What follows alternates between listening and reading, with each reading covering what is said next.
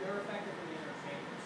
It's Part of, one of the, part of the amenities that the Welcome Center offers, at for the yourself, um, are locations for patrons who want a separate private experience, uh, that entails maybe some level of food and beverage service before they come out and watch the show. Probably the most analogous thing I can say to it is if you were like in a suite or a box in Kauffman Stadium, that sort of thing.